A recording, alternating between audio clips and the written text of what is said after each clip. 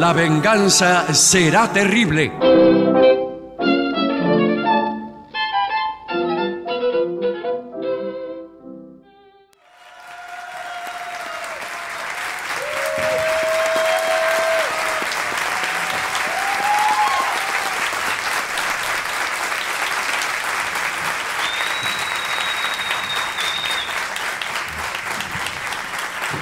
Muchas gracias, buenas noches. Aquí estamos nuevamente en Santiago del Estero, muy contentos. Y En la banda. En la aquí, banda. En la banda, en el Teatro Renzi, con mucha gente amiga que se ha llegado hasta aquí. Voy a presentar a mis compañeros, Patricio Barton, Hola amigo, buenas noches. Es por acá. el artista antes llamado Gillespie, Hola, ¿qué tal? ¿Cómo les va?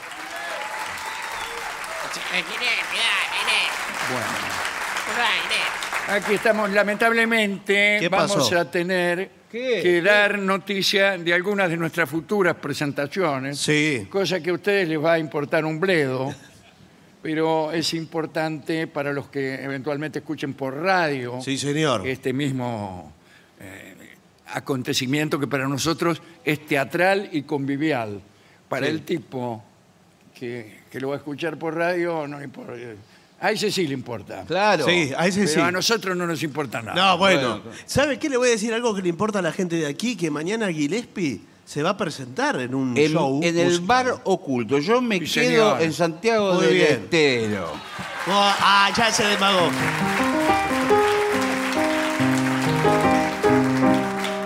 ¿A qué hora es eso? A la noche. 22 horas en bar oculto. En bar Todo el mundo lo conoce.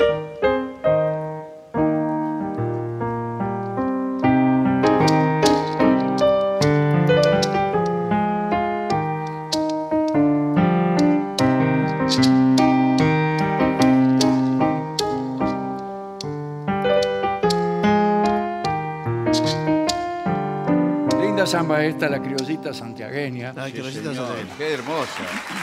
Ayer tocamos un balsecito que pertenece al repertorio de tango, para, para empezar, Sí. que era Santiago del Estero. Sí, Se sí. llama Santiago del Estero, pero pertenece al repertorio de tango. Sin embargo, el autor es un folclorista consagrado que era Chazarreta. Hoy tocamos un pedacito de la criollita belleza. santiagueña para entrar en clima. Para entrar en calor, déjeme decirle entonces que La Venganza se va a presentar. Ya estas son fechas de noviembre, hay que pensar en noviembre. Sí. Sí, hay que pensar en noviembre, tiene razón. Eh, vamos a estar en Buenos Aires en el Teatro Devoto. Atención, Villa Devoto, estuvimos ahí ya una vez. Un sábado vamos a estar, que es el 9 de noviembre, Ah, maravilloso. en el Teatro Devoto. También estaremos en Morón el día 14, Muy que es un bien. jueves, en el Teatro Morón. Y volveremos a Lomas de Zamora, a Dandelion, el domingo 24 de noviembre, para cerrar el mes en Rosario, en el Teatro Broadway, el día 28. Toda la información ampliada, los links y lo que precisen saber está en lavenganzaseraterrible.com. Mire, tengo una gacetilla para San Antonio de Areco. Mire que, mire hay que andar, ¿eh? Bueno. mire que arrancamos bueno. con la agenda. Se llama Caracola, la obra. Actúan Gloria Morgan y Tere Aiello. Esto es el viernes 19 y domingo 20 de octubre, a las 21 horas, en el Galpón Chamico de San Antonio de Areco. Me dirán, es una información muy restringida. Muy acotada. Muy porque restringida. Está acotada solamente a la gente de- que vive en Areco. ¿eh? Bueno, no se olviden. Y yo tengo lo de Stan River, viejo. Usted va a estar con Darío Con Stanriver. Darío Steinreiber. Usted no sabe lo que es. No, No, es bueno, un filósofo. Me imagino que debe hablar bastante. Ah, sí, no hay manera. hay que darle mil pesos para que empiece Claro. Y cien mil para que termine. Sí. No, por favor. No, bueno. La gente Sí. empieza a aplaudir de pie la gente en mitad del espectáculo Sí. para ver si nos vamos. Bueno, esto va a ser 3 y 10 de noviembre. En que el- son días domingos. Son domingos en Buenos Aires, en el Teatro Coliseo de Buenos Aires, ahí en Marcelo Teya y Libertad. Y a las 8 de la noche. Eh, bien. Hemos recorrido, eh, no solo en Santiago del Estero, en la banda, en sino en todos los lugares en que nos presentamos, muchas plazas. Sí, claro que sí. Es nuestra debilidad. Sí. Entre tantas otras. Eh, porque el señor es experto en juegos de plaza, Sí, sí. pero más que nada en algo que tiene que ver con lo que nos han impuesto desde arriba, Sí. desde altas esferas, que es el tema ir a la plaza con tu hijo, consejos y riesgos. Antes que nada voy a decir que la Argentina está un poco atrasada en materia de tecnología de plaza. Sí, entre tantas otras. Por ejemplo, en el Japón me, hay dicho, me han dicho que el sube y baja Sí. funciona de una manera tal que no es necesario encontrar un compañerito de tu mismo peso para que el juego sea eficaz. ¿Y qué? ¿Tiene un motor adentro? Eh, exactamente. Y, pero... Tiene un motor, entonces el niño solitario, Sí. que no tiene amigos ni perro que le ladre, Sí. se sienta y el sube y baja anda solo. Pero Pero es un poco lo baja, lo- Yo he visto niños que ya sea por su antipatía, por su carácter antisocial, o porque son muy pesados o muy livianos, Sí. no consiguen compañero para el sube y baja. Igual le puedo decir una cosa, toda esa tecnología a mí me da tristeza. Bueno, Usted Eh. porque es una persona que se opone a los tiempos que vivimos. Y porque un día lo lo- cual hace muy bien. me Un parece. día los japoneses van a inventar que no es, no es necesario estar en pareja. Que una persona sola puede estar... eh, digo que los japoneses ya, Ya, no, se inventó y no lo inventaron los japoneses. Claro. Bueno. ya no inventan muchas cosas los japoneses. ¿Cómo? Ahora inventan los chinos, vio que los japoneses Ah, no, sí. no inventan. Para grandes y grandes desatinos, no hay como los japoneses y los chinos. Pero la En plaza. el sube y baja Sí. suele solía ocurrir también eh, lo siguiente, que era eh, emparejar. Un, un Claro. niño de 50 kilos se conseguía dos amiguitos de 25 cada uno Bueno, y jugaban a, a eso. Ya más grandes también, porque la gente juega. ¿Sabe lo que me pasaba a Y- mí? no, me imagino que tendría dos amiguitos de 50 kilos.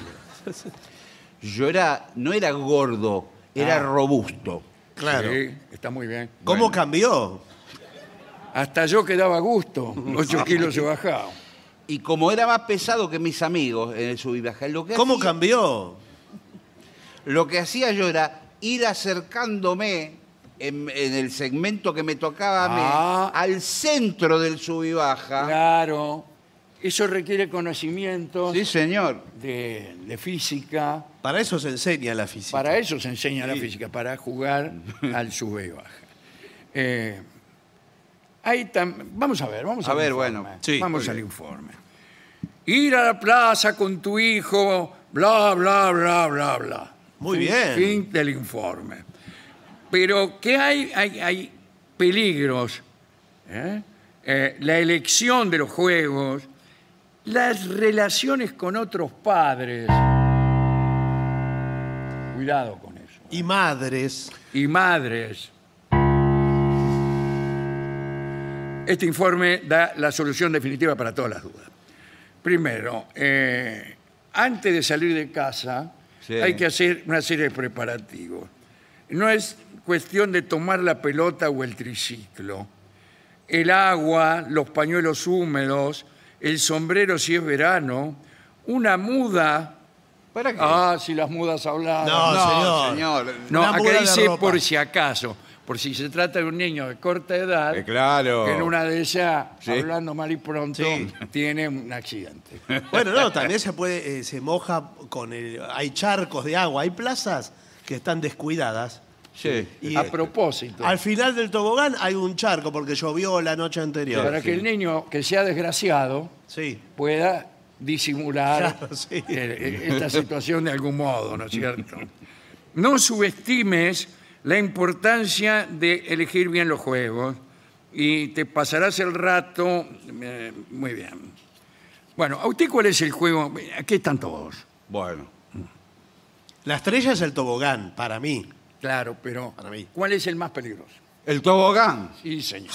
el que más nos gusta. Es una ruleta rusa, el tobogán. No, es un tobogán. No, bueno, La pero ruleta rusa es más allá. Sí, es Porque donde está ese revólver, Sí.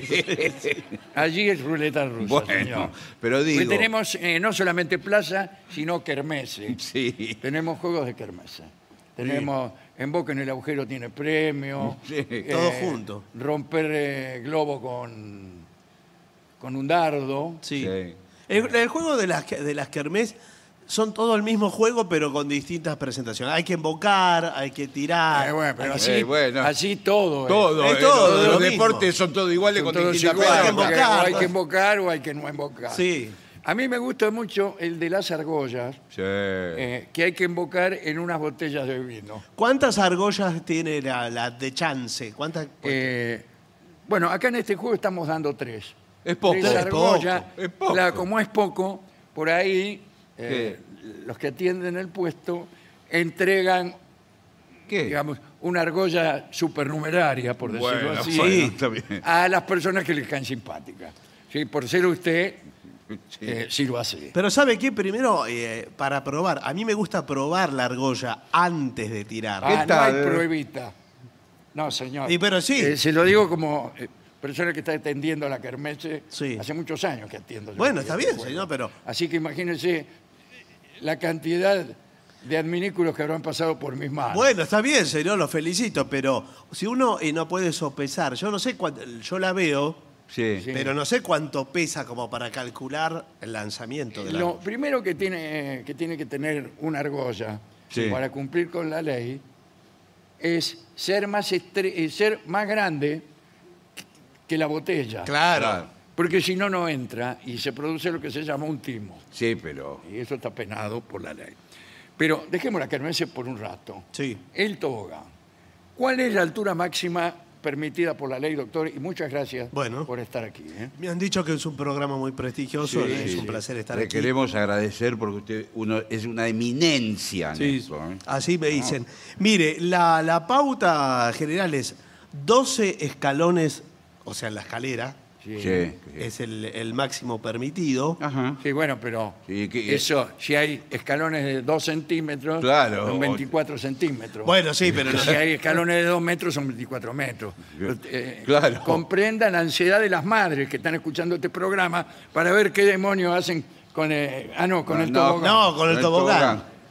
Es que eh, nos reunimos en Ginebra, donde se hizo el Congreso de... Eh. Bueno, no, señor, en, en Ah, Suiza, sí, sí. en Suiza, en la ciudad de Genève, de Ginebra. Ajá.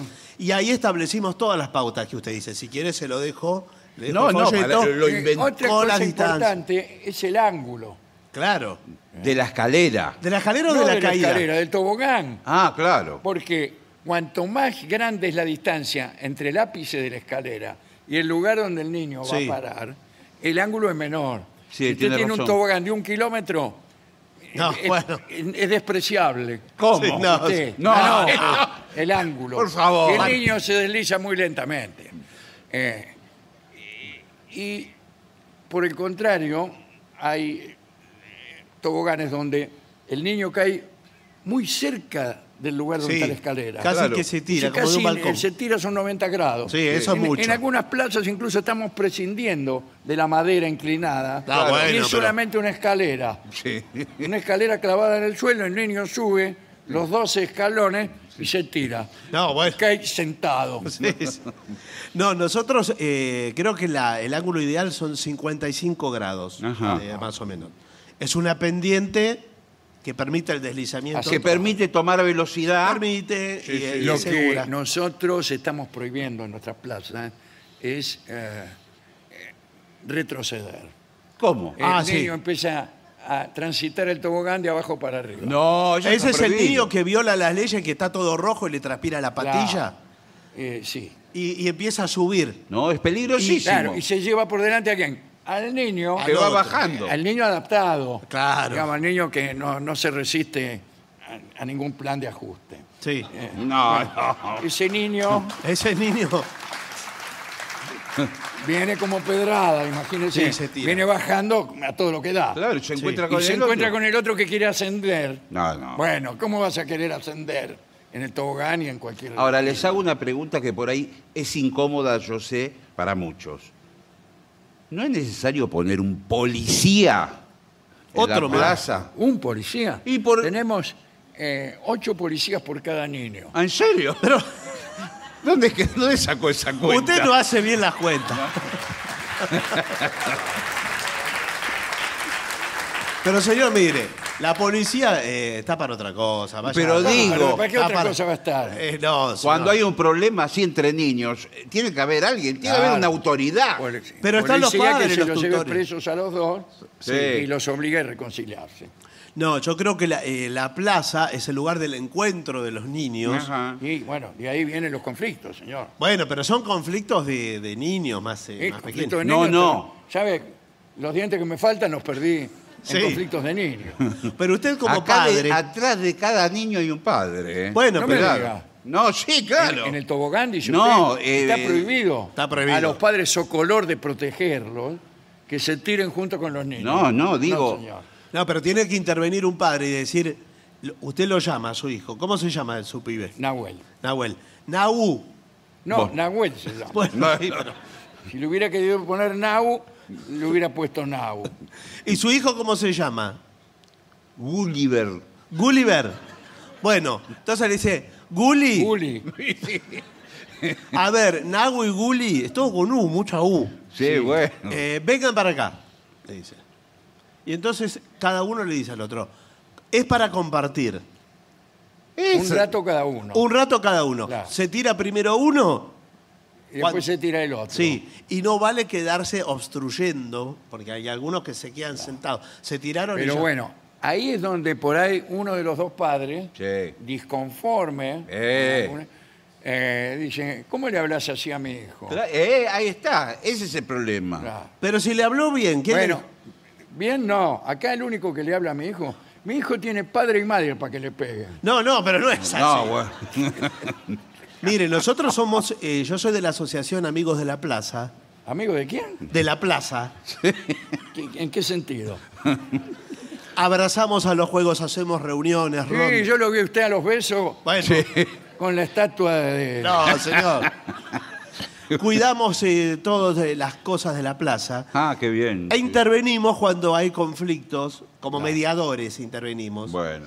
Y yo veo que el señor, el padre del papá, el No, papi de Nau, El nene. tiene una animosidad. El nene y el padre tienen una violencia contenida que son insoportables. Yo no te voy a permitir No muy lo de violencia contenida porque te voy a bajar los días. No, no, por favor. bueno. A ver, Parecen. a ver si eh, nos podemos dar las manos. Sí. Entre nosotros. Si todos los hombres del mundo se dieran las manos, ¿no? Bueno.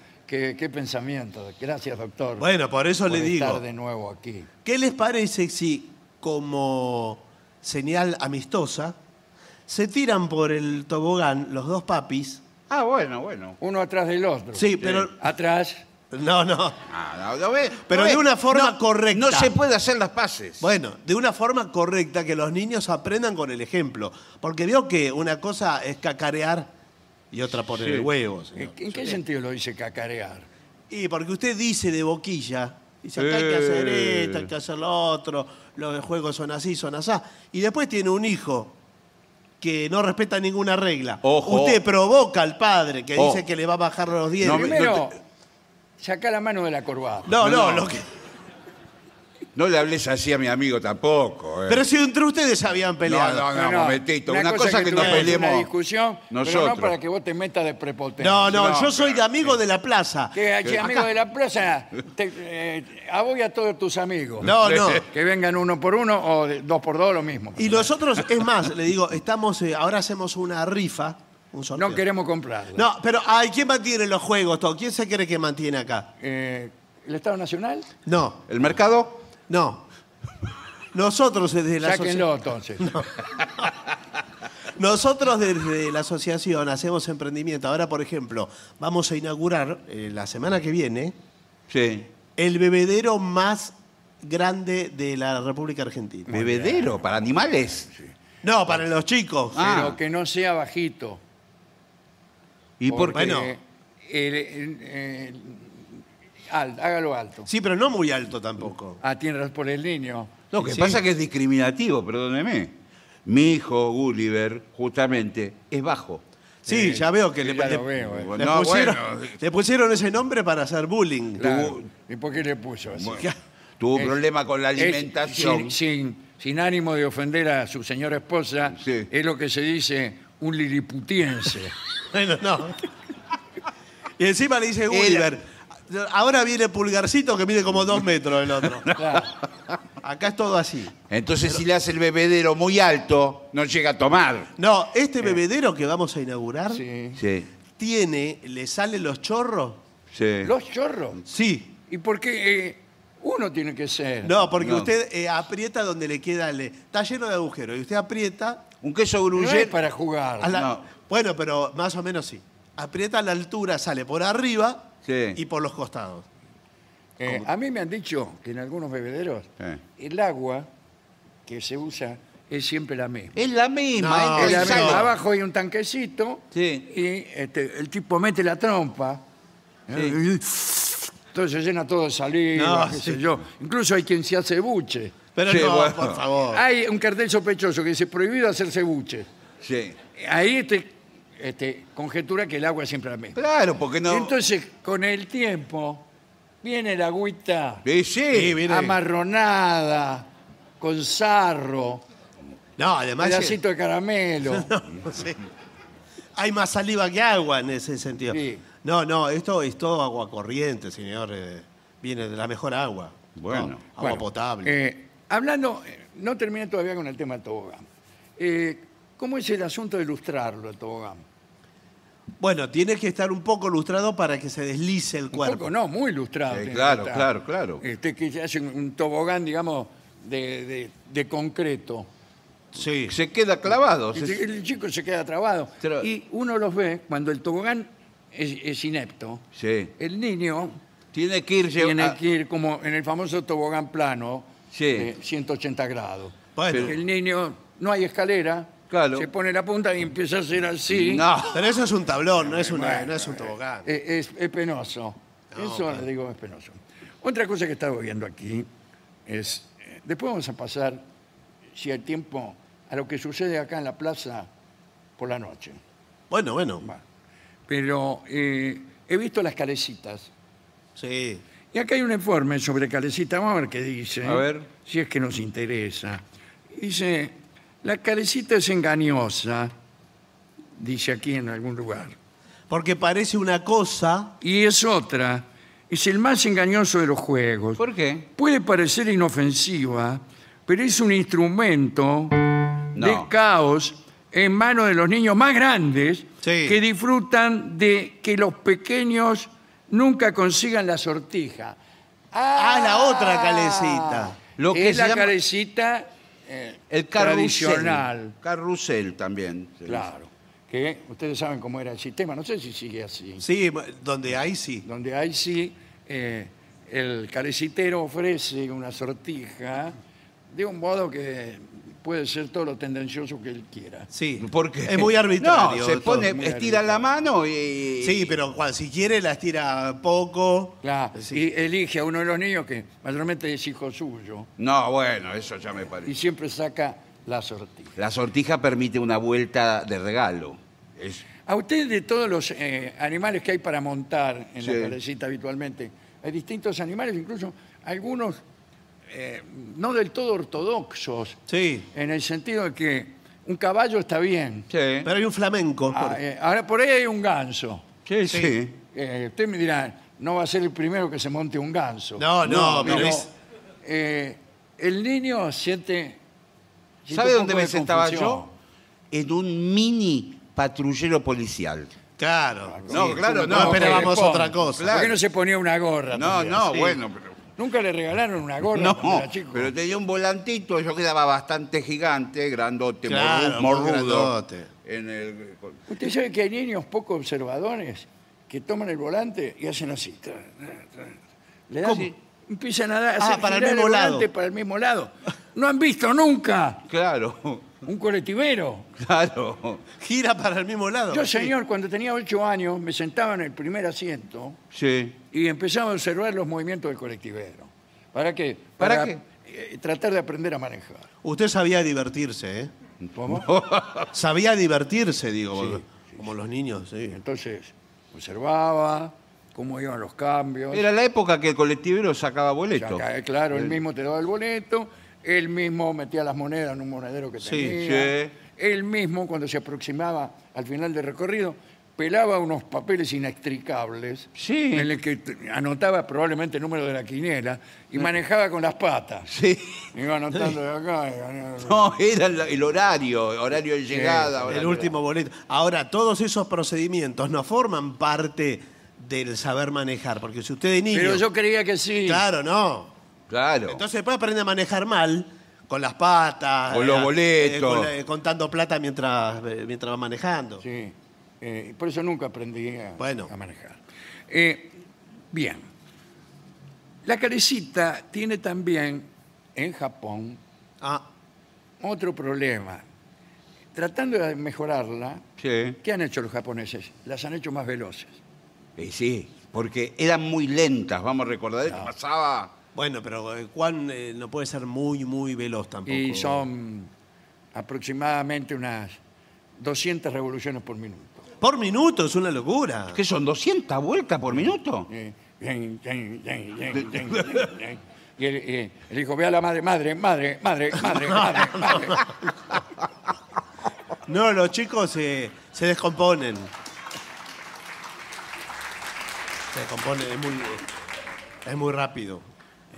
Antes, cuando iban lentos, el niño incluso, el, el niño ya un poquito crecido, Sí, sí. solía arrojarse de la calecita en movimiento y volverse a subir. Era un peligro. Ya el niño Peligro. canchero. Eh, eh, el, el tema de los japoneses es, ¿por qué no te largas ahora? Claro, claro. Te largas de una de esas calecitas, ¿sabes dónde? Con el, el movimiento centrífugo, Sí, Sí. vuela. vas a parar a la otra cuadra. Sí. Algunos volaban solos porque Sí, claro. el que es muy liviano sale. El niño liviano, No se eh, agarra. que se pone muy en el borde de la Muy en el calecita, borde. Sí, sí. corre el riesgo de ir a parar a casas vecinas, Sí. donde luego se niegan a devolverlo. Sí. ¿Por qué se niegan a devolverlo? ¿Qué, qué, qué? Porque están molestos, como decíamos el otro día. Sí. Eh, como eran eh, los paracaidistas, ¿se acuerdan? Sí. Sí. El, eh, había un campo de paracaidismo y la gente que vivía cerca se quejaba, pues le caían los paracaidistas arriba del techo. Bueno, Le pero arruinaban toda la chapa, entonces no lo devolvían a los paracaidistas. Pero qué- qué- eh, de puro rencoroso. de rencoroso. ¿Y Sí. los nenes que, que están todos los nenes en la casa del vecino? Y bueno, bueno, son conflictos que tienen lugar en la plaza.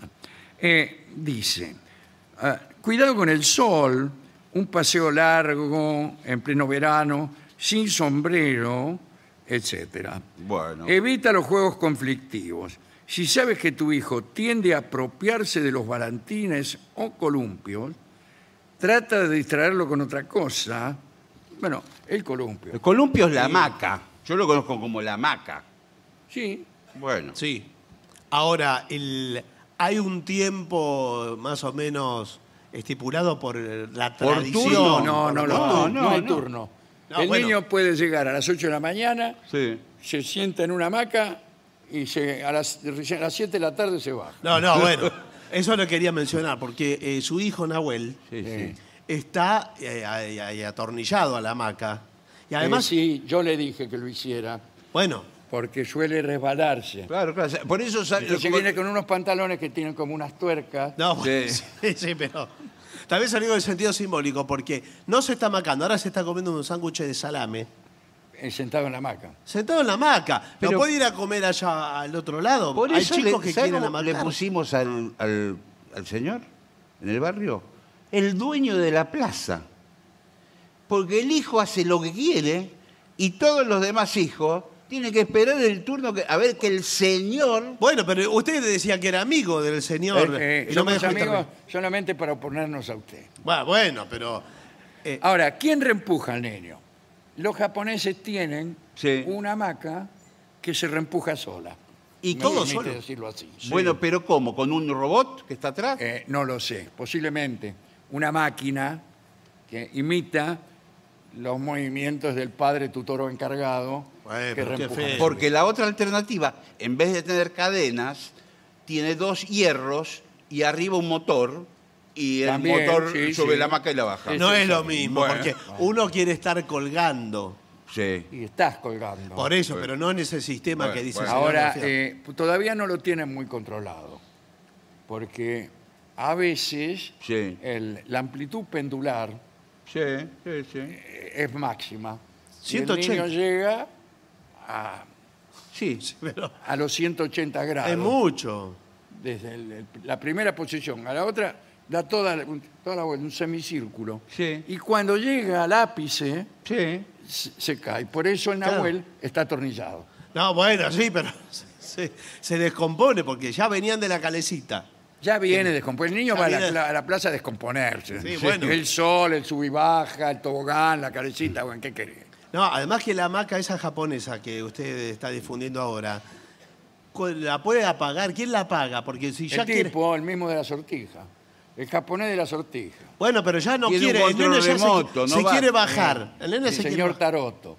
Sí. Pero dígale a Taroto que los chicos que se quieren bajar, que por favor eh, apague la máquina. Y después, al de la noche está suyo.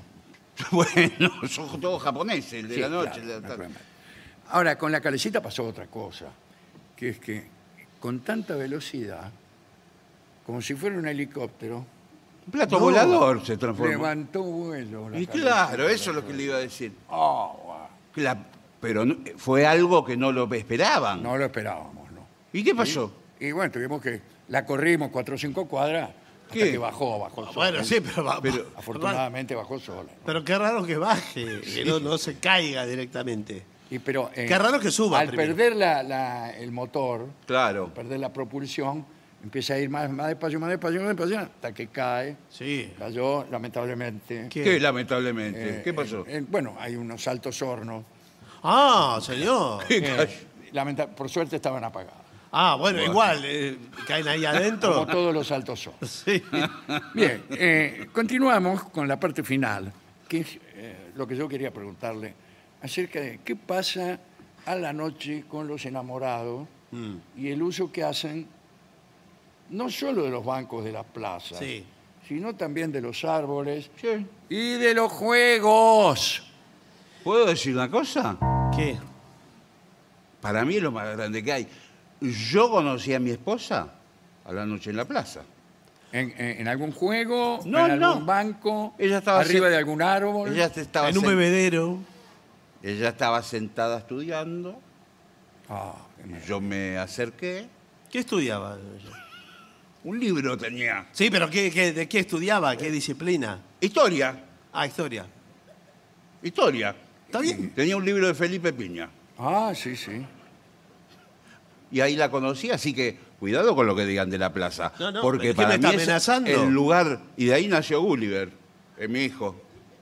¿Todo el mismo Bueno, día? yo también conocí a mi novia. Yo estaba una noche, una noche eh, mucho calor. Por empezar está prohibido estar en la plaza de noche. Pero yo salté y me senté en el bebedero Sí. para darme lo que se llama un baño de asiento.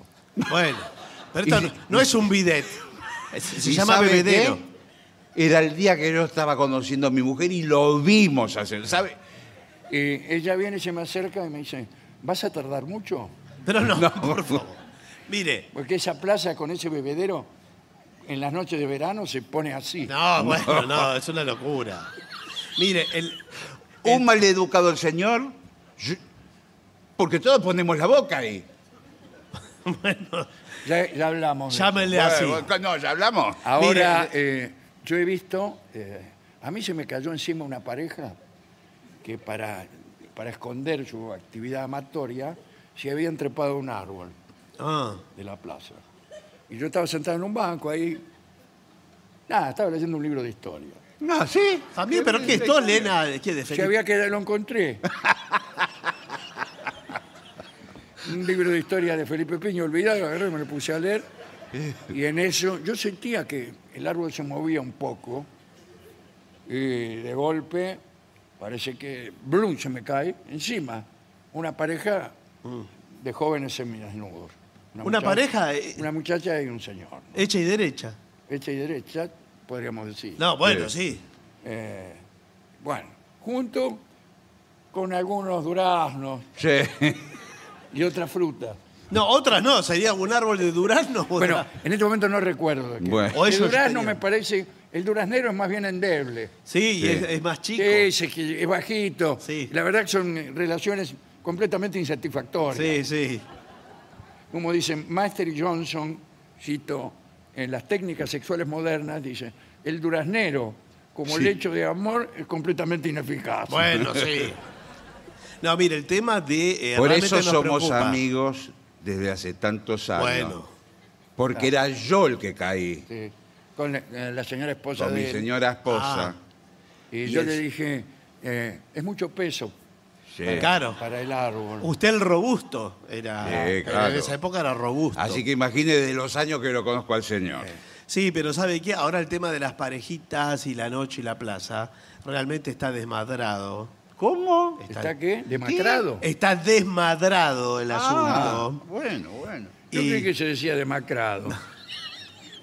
No, esta es otra cosa, es un Qué desmadre. desmadrado que estás Es un desmadre. con esas ojeras. Y a ver, por favor, si ponemos eh, las cosas en su lugar. Es Eso que es lo esa- que estamos tratando de hacer. Sí, no, claro. señor. Porque esto se la acabose Sí, bueno. directamente. Usted está, los chicos acá, cuando yo vengo a la mañana, a- Sí. al amanecer, las cosas que me encuentro, Es que, sí. me encontré un libro de Felipe Piña Sí. y otras cosas Frutas. que. Sí. Y otros. Uno- y unos- otras. Unos carozos. Sí. Duraznos en un estado putrefacto. Eh, y ya realmente no se pueden dar. Y Ahora, después- yo eh, digo esto, y esto puede ser polémico. ¿Qué mejor que nuestros hijos y hijas Eh, estén- hijas. Y hijas, ¿qué es? Y hijas. ¿Me deja avanzar? Y hijas. El que estudió fui yo. Estén en la plaza de nuestro pueblo. En vez de estar en la calle o en un lugar donde no podemos. Pero la plaza es la calle. Está en la calle la que plaza. no es peor. No está adentro de su casa. Mala mía. Bueno. Y además, eh, ¿Es cierto que en la plaza de su pueblo se robaron el prócer? sí. ¿Que está el caballo solo? hay, una profa- hay una profanación de monumentos y ahora estamos dando una recompensa Sí, sí. para recuperar al prócer de nuestro pueblo. Bueno, en el pueblo del señor Sí. hay un señor que estaba sin trabajo y lo pusieron de prócer No, Bueno, bueno. no. hasta que recuperen el de bronce. Sí. Bueno. Esta él viene, viene muy temprano a la mañana antes del amanecer, se sienta y se queda ahí, pone cara de haber fundado la ciudad. Sí, no. Pero lo cargan.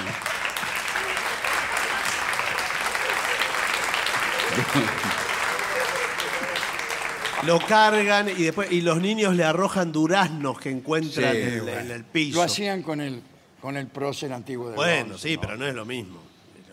Creo que hay que, hay que educar para, eh, para estar en la plaza ya. Sí, sí.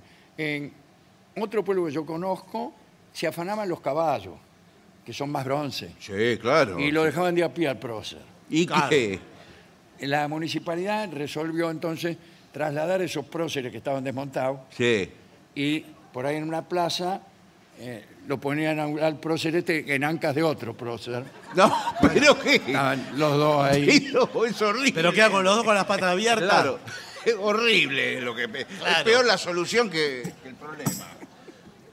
No, no, realmente eh, así la plaza no puede, no puede funcionar. Ahora la ¿Hay nueva- próceres en Japón? Digo, porque estamos hablando de la tecnología japonesa. ¿Cómo no va a haber próceres en Debe Japón? haber, ¿no? Sí, por supuesto. Primero que hubo samuráis, hubo de todo. Eh. De todo. Sí, pero no sé si esos son los próceres. Bueno, de- por eso. de No, Japón. O sea, eran los amigos de los próceres. Bueno. Bueno. Eh, ¿Tiene alguna pregunta más que hacer? No, yo creo que eh, estamos por ahora como para afrontar el tema y quizás... Hermoso informe, ¿eh? Sí, y le agradecemos en su doble carácter de experto Muy bien. y de guardián de esta plaza. Yo les agradezco. El agradecido soy yo. Bueno. ¿Qué vas a hacer vos el agradecido? Sí, soy yo el Acá agradecido. los agradecidos somos, Somos nosotros. nosotros. No, bueno. Vos sos un vigilante. No, no soy vigilante. ¿Qué vas a ser agradecido? Mire, ¿sabe las cosas que he aprendido en esta plaza? Me imagino, porque. Aprendí de todo, no solo por los libros de Felipe Piña que me encontré, me fui Sí. encontrando, sino porque uno de tanto estar acá va escuchando, va mirando y toma pensamientos, cosas, conceptos del pensamiento ajeno.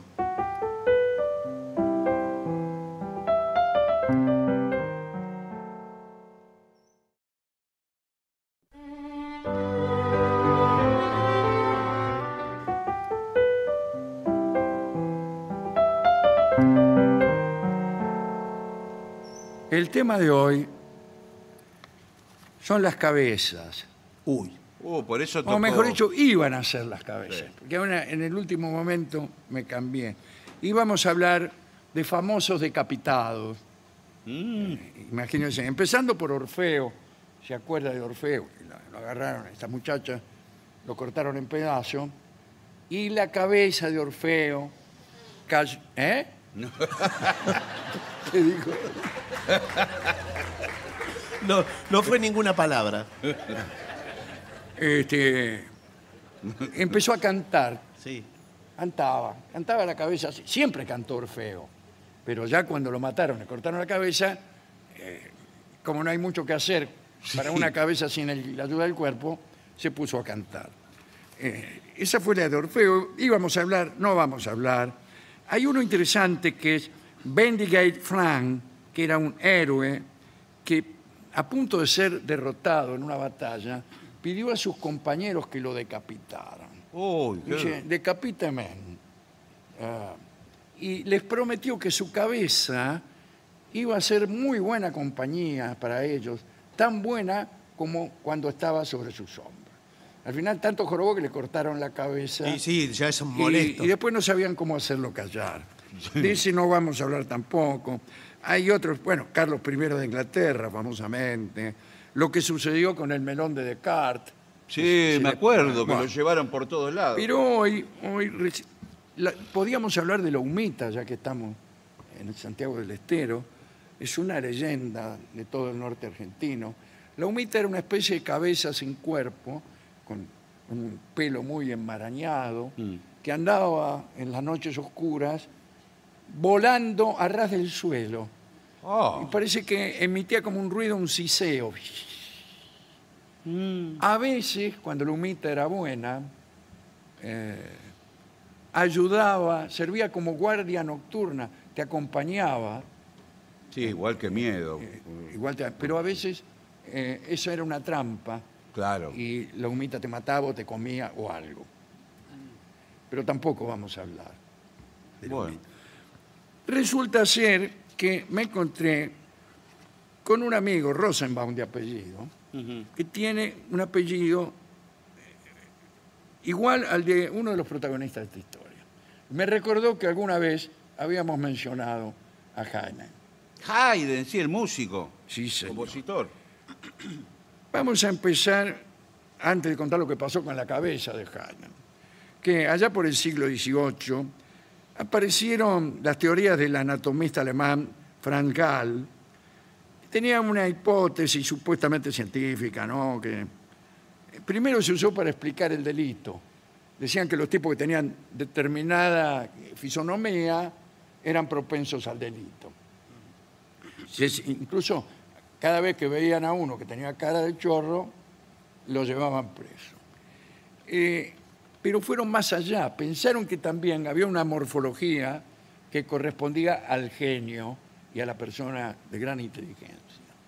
Entonces llegaron a pensar que bastaba con el examen de ciertas proporciones para saber si un tipo era inteligente o no. Después, si en la vida real el tipo era un ganso, Bueno, sí. eh, no seguíamos No hasta allí. El caso es que, muy bien, eh, eso es lo primero que tengo que decir. Haydn se murió un día y con el cuerpo pasó lo mismo. Eh, murió un 31 de mayo de 1809. En realidad no hicieron, a pesar de su gran popularidad, no hicieron mucha fiesta porque en esos tiempos Viena estaba en manos de Napoleón y Haydn era muy patriota y no, no convenía ponerse Ah. mal con, con los que estaban dominando. Así que fue en- enterrado con toda sencillez, sin emblema, sin discurso, sin fervor patriótico. Pero enseguida empezaron los frenólogos a tratar de apoderarse de sus restos, para estudiarlos, Claro, para ver qué es lo que hacía que el tipo tocara tan bien y compusiera tan bien.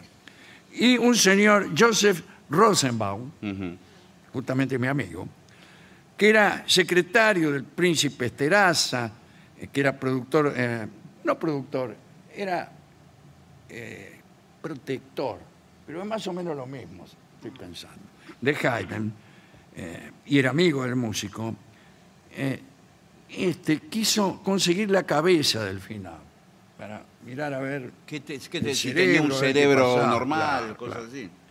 Eh, Rosenbaum estaba interesado en la frenología, eh, o sea que no es que la quería como recuerdo, la quería para estudiar. Entonces sobornó a un empleado del cementerio, desenterró a Haydn, le cortó la cabeza, volvió a enterrar el cuerpo y le entregó el cráneo a unos investigadores amigos para ver si descubrían algo. Una vez estudiado minuciosamente el cráneo por los frenólogos, le devolvieron la cabeza a Rosenbaum. Sí. Pero Rosenbaum no la devolvió al lugar donde la había sacado, porque claro, tenía que arriesgarse Que lo descubran. a que lo descubrieran. Ya se había arriesgado una vez. Claro. Dice, ¿para qué la voy a volver a poner? Sí. Eh, bueno, entonces se la guardó como recuerdo después de todo. Bueno, es horrible. "Más sí, me la guardo. No, es horrible. Eh, Después había sido su amigo. Está bien, pero ¿qué va a estar la cabeza ahí? Finalizó la invasión napoleónica eh, y los austríacos resolvieron de- de- dedicar debidos honores a Haydn y, bueno, eh, fueron a buscar el cuerpo de Haydn para trasladarlo a un mausoleo que habían construido en Eisenstadt, lugar en que Haydn había compuesto muchas obras. Fueron a buscar el cuerpo, lo exhumaron y se dieron cuenta que le faltaba la cabeza. Es terrible es esta historia. Bueno, este, hubo una investigación y empezaron a sospechar de quién. De Rosen. De Rosenbaum. Fueron a la casa eh, con la policía y la policía no encontró nada. Pero parece que la mujer de Rosenbaum, mientras la cana revisaba a ver dónde se encontraba la cabeza, se escondió el melón debajo de la falda. Y bueno, claro, la policía no iba a andar buscando ahí. No, más vale, pero digo también. Rosenbaum, asustado por este allanamiento, sugirió al príncipe Esteraza que por un dinero eh, el cráneo ausente podría aparecer. Le pidió como un rescate. No dijo que él lo tenía. Bueno, No, pero es como "Yo decir. sé ¿Quién lo tiene? por un dinero. Usted me da un dinero y yo le revelo cómo se lo Parece que el tipo le ofreció muy poco. Y entonces eh, Rosenbaum se, se enojó, se ofendió, digamos, por esta suma insignificante. Y lo que hizo fue recibir el dinero, pero entregarle la cabeza de otro tipo, ¿En serio? que no era Haydn. Más barata. Buah. Eh, y así, eh, el pobre Haydn, por la avaricia de un príncipe y la codicia de Rosenbaum, se quedó con una cabeza de- que no le correspondía. Rosenbaum se quedó con la verdadera cabeza y todo hubiera quedado así, pero sucedió que se enfermó y a punto de morir se arrepintió y confesó la verdad en su lecho de muerte. ¿Y qué dijo? Yo tengo la cabeza. Eh, y sí. Y su deseo póstumo fue donar la cabeza a la Academia de Música. Pero ese deseo no se pudo cumplir porque la cabeza de Haydn había desaparecido nuevamente. Parece que el médico que había asistido a Rosenbaum en sus últimos momentos se afanó el valero de Haydn. Se lo robó. Algún tiempo más tarde, la cabeza fue vendida a un conocido profesor que al morir la cedió al Museo de Patología de la Universidad de Viena. Pero Bueno. entonces intervino la Academia de Música. Claro que. Claro, su directivo dijeron, ese era para nosotros. Este, eh, a todo esto, la familia del príncipe Esterhazy, que era protectora de Haydn, reclamó lo que le faltaba, porque el cadáver lo tenían ellos, Y habían garpado. le habían garpado. Eh, si ellos habían comprado la cabeza de Haydn y le habían pagado, bueno, démela. Sí. El asunto llega a la Corte y la justicia tuvo un curioso dictamen. Se reconoció el accionar de Rosenbaum y se le entregó a la Academia de Música la cabeza en disputa. Y allí, en la Academia, fue exhibida la cabeza desde 1839 hasta 1954, año en que la familia Esterhazy convenció a las autoridades de la Academia de retornar la cabeza del músico a su posición original. Pero era un mal año para esto. Esterhazy, como habrán descubierto muchos oyentes, es un apellido húngaro. ¿Por qué es apellido húngaro? Porque un, eh, Austria y Hungría eh, formaban en aquel tiempo un solo Estado, pero hablaban dos lenguas distintas. Quiere decir que 1954, si ustedes recuerdan, era un mal año para meterse en esos líos en Hungría. Justo en ese año los soviéticos invadieron eh, este, lo que aquel entonces era Hungría y algo de Austria. Y el príncipe, Pablo Esteraza, fue apresado por el Partido Comunista Húngaro, sus tierras confiscadas, con músico descabezado y todo. Sí. Pero prevaleció la cordura y los soviéticos permitieron la restitución del valero de Haydn y así, desde el 5 de junio del 54, Haydn está completo. Acerca de las cualidades frenológicas de su genio, o sea, por qué era tan buen músico, Sí. no, no se supo nada. Bueno, ¿a quién dedicar esta hermosa historia? Sí. al amigo Haydn y, y a las personas que por injusticia de esta ciencia, de la frenología o de cualquier otra ciencia fueron detenidos. Y también a todas las cabezas que han rodado en el transcurso de la historia. Vamos a cantar la canción que se llama A rodar mi vida.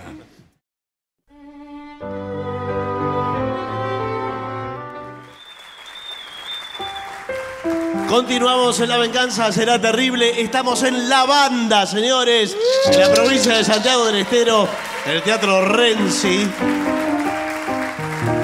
Y agradecidos a la municipalidad, al municipio de Así La es. Banda, que es eh, quien nos trajo aquí, al, eh, al intendente Roger Mediani y a toda la gente del equipo del municipio que hace posible que estemos aquí. De otra forma sería muy complicado.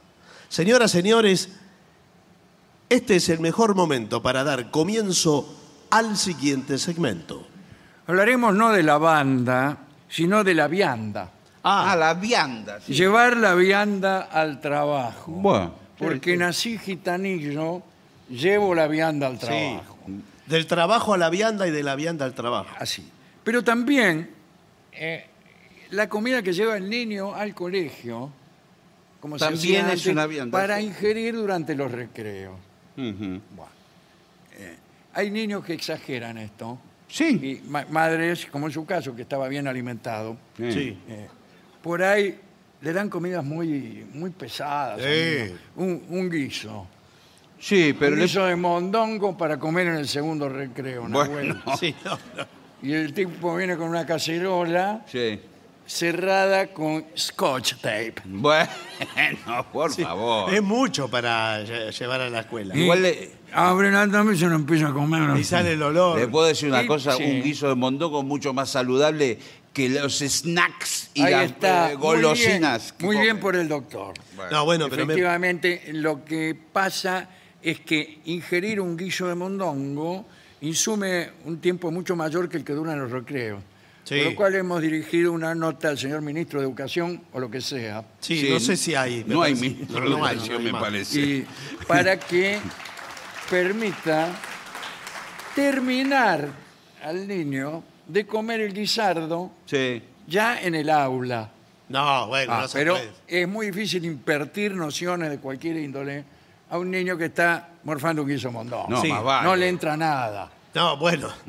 No. Cuidado porque el queso de mondongo, hay muy pocos niños que lo aceptan como alimento. Esto. Eh, bueno, en mi caso, yo le enseñé a Nahuel hábitos higiénicos de comida desde prácticamente el año. Y bueno, no, pero el año, un niño de un año no puede comer un montón. 1920. Pero, No, pero lo que está tratando de decir, que le enseñó a comer toda la comida. Toda la comida. Toda la variedad, Sin dejar nada, por más que fuera repugnante. Bueno, No. Porque generalmente las comidas repugnantes Sí. son productos del amor maternal sí. y hacen bien a la salud. no, no, no es así, Y yo he señor. escrito un libro que se llama Puaj, Bueno, qué, qué li- lindo nombre. con una lista de comidas saludables. No, lo que pasa es que eh, aquí en la escuela estamos sugiriendo eh, las viandas saludables, por supuesto, y refrigerio para el recreo de las 10, que es el que dice usted. Sí.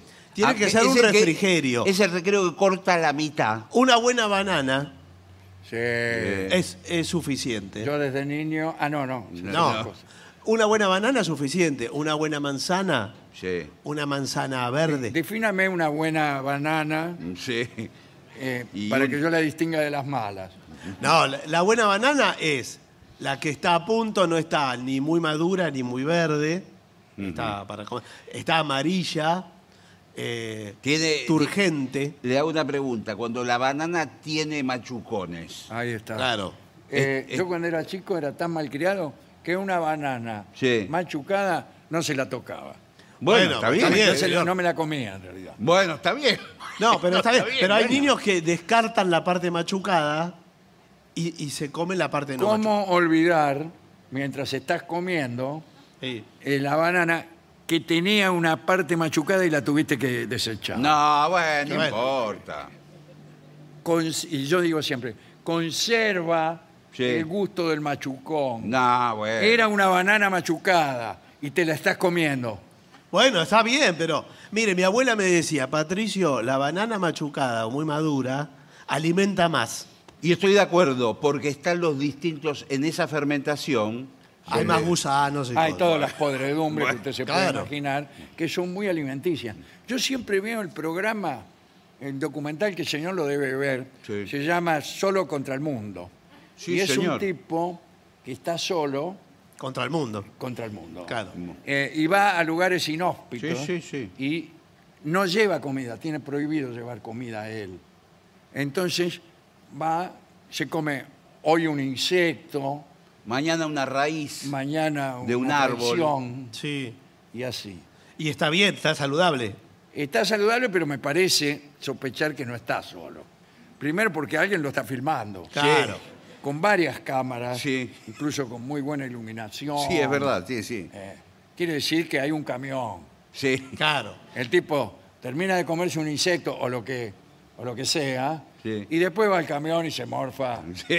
Hay una buena hamburguesa. Sí, hay milanesa napolitana No. con Bueno, pero no estamos caballo. hablando de eso. Estamos hablando de la vianda como concepto. Sí. Es decir, llevar comida al lugar donde uno estudia o trabaja. En el trabajo también. Es más conflictivo, costumbre. sí. Es conflictivo porque nos tenemos que organizar, eh, muchachos, Sí, sí. porque veo que están trayendo comidas que se calientan al microondas que son muy olorosas.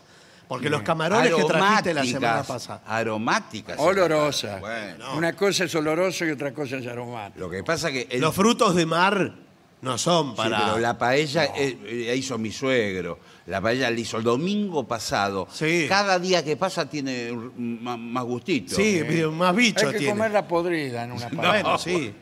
Pero acá ustedes están pasando por alto un problema que es el principal en las oficinas, que es que las viandas se guardan en una heladera Sí. en la oficina. Cada uno guarda su vianda ahí. Ahora, ¿quién me asegura a mí que no viene Pastichotti, Sí. eh, Los compañeros, va. Que... uno de los compañeros, y me roba directamente la vianda o la abre un poquito Sí, y, se come parte de ella. Yo Eso está pasando, señor jefe, eh, eh, todos los días. Bueno, pero eso no puede ser. Primero que cada vianda tiene que venir con una etiqueta que diga Sí, ¿Qué tiene? Pastichotti. pastichotti. Eso es lo que hace Pastichotti. Bueno, Le saca la, Sí, la la etiqueta original Sí. del señor Pavlovich, por Sí, ejemplo, y le pone Pastichotti. y se come la de, pra- pa- la Y de se come Pavlovich. todo lo que trae el señor, que la verdad que son comidas muy sanas. Y bueno, pero. No, no, el otro día traje un tupper lleno de ensalada de frutas. Oh, se me hace agua la misma. Sí. cada, iba, cada vez que abría la heladera estaba m- más vacío el tupper. Claro, porque Pastichotti tiene la siguiente psique. Y se come un poquito, total, ¿quién se va a dar cuenta? Eh, Le voy a comer otro poquito, total, ¿quién se va a dar Sí. cuenta? Le, me como otro poquito, total, ¿quién se va a dar cuenta? Me como otro poquito, total, que me importa. Claro, Sí. y Y ya. así, total, bueno, y así dice, me voy a comer lo que queda, porque ya está. Total, ya se dieron cuenta. ¿Sabe qué? Tengo una noticia para darles. sí, ¿cuál es? Hemos instalado una cámara adentro de la heladera. ¿Qué? Ah, no me diga. ¿Para Que qué? hemos instalado una cámara No. dentro de la heladera. Pero esto Eh, es y una- tenemos todo registrado. Los movimientos de Pero todos. esto, esto eh, es Yo no una- voy a permitir que se dude de mí. No, claro, aparte Siendo como ya está establecido que el que se afana la vianda es Pastichotti. ¿Quiere ver la película? ¿Quiere No, ver no, el video? pero por esto- favor, a pero- ver. Mírelo, escúcheme. mírelo. A ver, dele para atrás. Miren. Mire esto. Le hemos puesto sonido. Sí. No, no, perdón. Esa es una película privada. No, no. Ah. Esa, eh, per- perdón. Esta. Bueno, Eh, Bueno, no. ahí lo estoy viendo a Pastichotti no se levantó del escritorio. Mire quién, ve- quién viene ahora. Mire quién viene ahora. Niego. Ah, No, no, niega. no, no, ¿qué niego? Esto niega. persona. Esa es este. Es usted que viene es cam- una toma insertada. No, es ¿Cómo usted. se llama? Una, una edición. No, no está editado. Y tiene una fíjese, cuchara sopera eh, una guardada sopera. en el bolsillo. Y le queda. Le queda en primer plano, como la cámara está dentro de la heladera, se ven los ojos del señor. Sí, sí. Cómo eh, panean todos los tuppers y las cosas. Se y ve la, elige- co- la codicia en los ojos. Sí. Adem- La angurria. sí. Además combina el guiso de mondongo con la ensalada de fruta. Con la misma cuchara. Con la misma cuchara. Todo con la misma cuchara. Miren lo que es. Bueno, vamos a ver qué dice acá el informe. ¿Qué comida llevar? Ensaladas variadas. Sí. Es una excelente eh, opción. Un yogur puede llevar. Eh, sí. Bueno. Pastas frías o tibias, Ajá. eh, con salsa suave, como pesto. Sí. Pero el pesto le deja una baranda. Un olor. Pesto. Usted tiene que Qué atender al linda público. palabra pesto. eh. Sí. Puro ajo, ¿eh? Y albahaca, un olor. Después tiene que hablar con la gente, Sí. con el pesto. Es difícil, ¿eh? Bueno, eh, tartas o empanadas. Está muy Sí. bien eso. Sí. Es práctico. Es práctico porque la empanada se envuelve sola. Se la come con la mano. Sí, ¿Y con qué la quiere comer? sí así me dijo el, el doctor Altamirano. No. Mire, si no vamos a tomar las cosas en serio, eh, la verdad que No, me voy a pero levantar y me voy a ir. Quiero decir, no se, no se necesitan cubiertos. La empanada. eh, por- pero después se cansa todos los días empanada. o todos los días. Ahora, de todos modos, hay un riesgo. Sí. Primero, ¿tiene que, ¿hay un horario en la oficina? Claro. Eh, No lo sé, porque eh, hay gente que, tal como ocurría con el niño del aula, está haciendo su trabajo y se está comiendo una empanada. Y nosotros tenemos acá eh, atención al público. Claro, Sí. llega un momento, están todos comiendo. Eh, y llegando el momento, te atiende un señor, Sí. se está comiendo una empanada y a veces viene muy jugosa. Claro. Viene jugosa y se te empieza a chorrear. Sí. Y el tipo te atiende mientras mastica la empanada. Dice, el señor que decía... No, por eso no se puede. Y todo el formulario queda todo chorreado, manchado. Usted viene, usted viene por el trámite de la transferencia Eh, sí. Así no se puede atender al y público. pone la empanada La apoya. arriba del trámite. Sí. Y no, y no se A mí, concentra. Por arriba eso- de este trámite han puesto de todo. Por eso. Bananas, empanadas, Sí. zanahorias. Yo lo que vi, que pusieron una cámara también en la parte de atención al Sí, público. señor. Por todas partes pusimos cámara.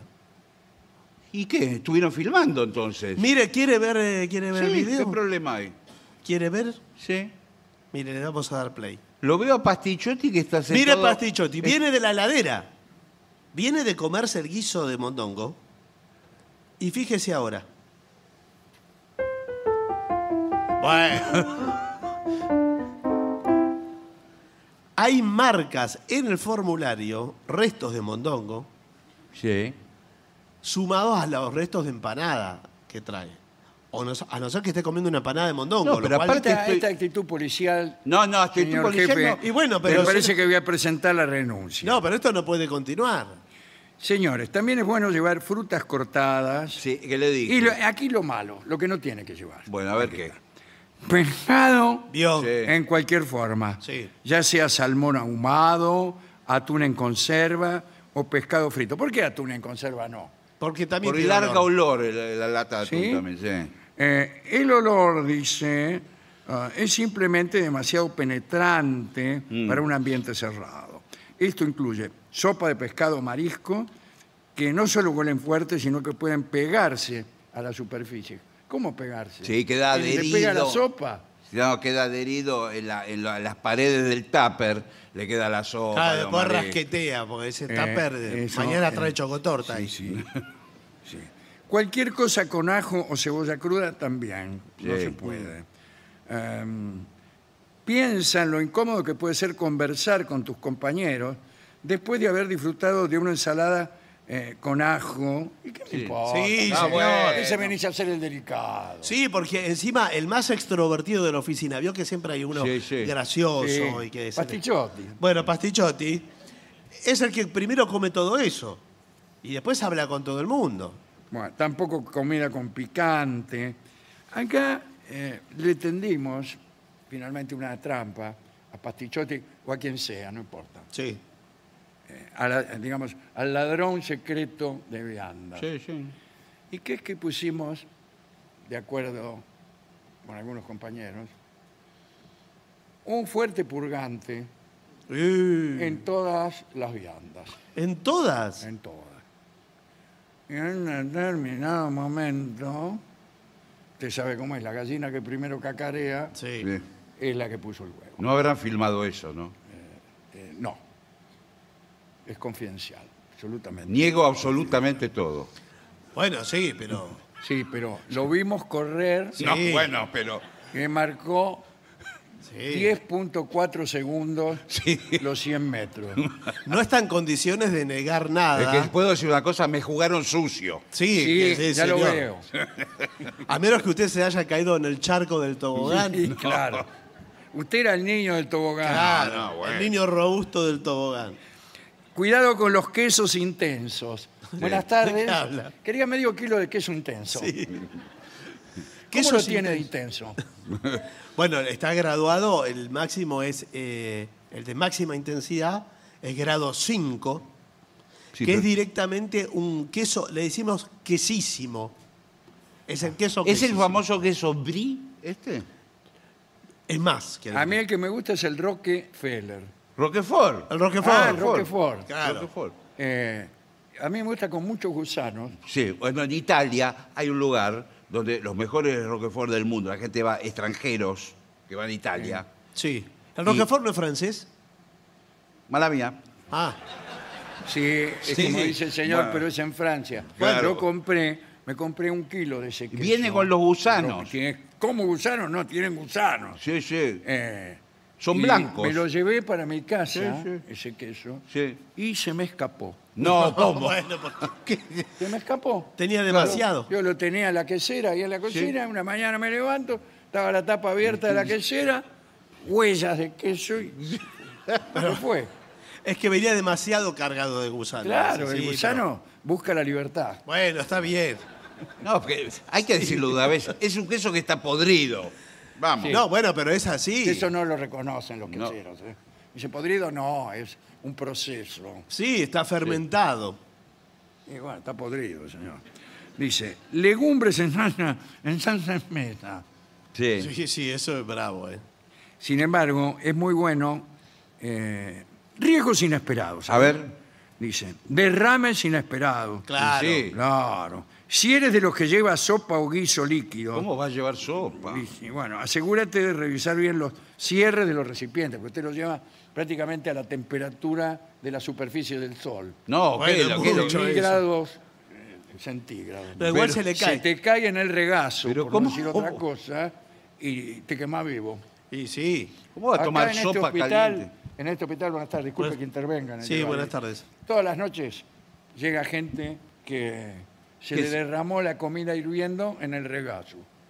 ¿Y, Sí, y sí, ustedes atienden? eh, ¿Esto es el Instituto del Quemado? El Instituto del Regazo. Del- Sí, ah, claro. Aquí atendemos toda clase de accidentes o inconvenientes con el regazo. Bueno, sí. le voy a presentar al doctor Randazo. No, no.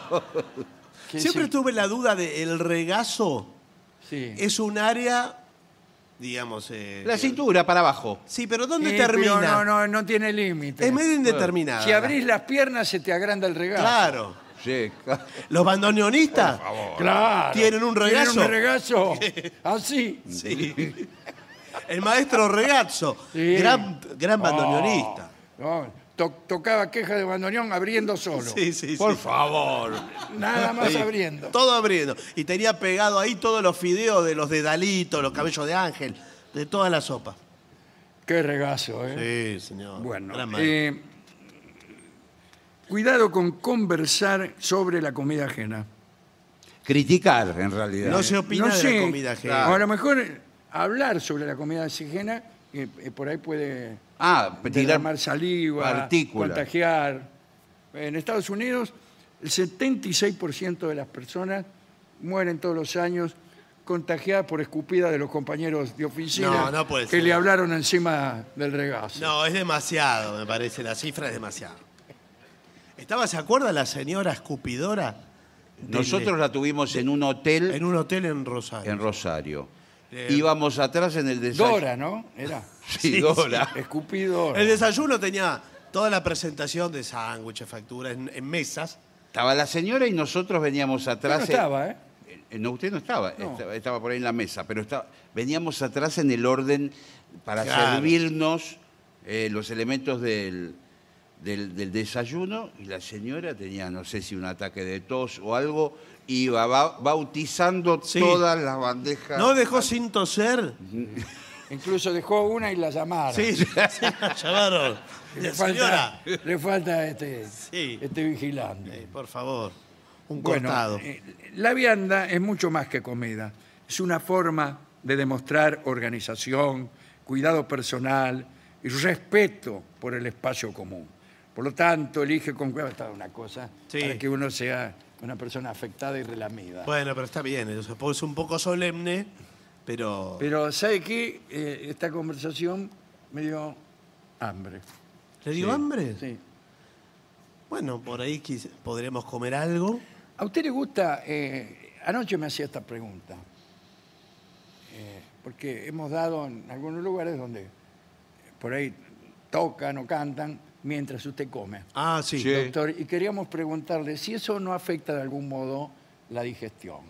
Bueno, sí. afe- Gracias. eh, bueno, no. de Fermín de Villa Insuperable. No, pero espere, todavía no le dije nada, porque le, por supuesto que la música en altos volúmenes Sí. eh, altera la ¿Cómo digestión. a estos volúmenes? A nosotros tratamos, tratanos bien. No, no, sí, señor. sí, sí. Más volumen será vos. No, te- te- con respeto hicimos la pregunta. Los no- graves que por hermano, blum, blum, blum, blum, blum, de la música, Claro. Le, le masajean el estómago, aunque usted no lo ve, no lo sienta Yo directamente. lo sentía, sí. Ah, bueno. Sí. Pero es- pensé que era alguien. No, toda esa vibración eh, le afecta a la digestión. Usted se le puede cortar la digestión. ¿Vio que se le corta cuando usted come pesado y se tira a un río? Sí. Bueno, lo mismo con la música. Señores, vamos a hacer una breve pausa para dar comienzo al bailongo.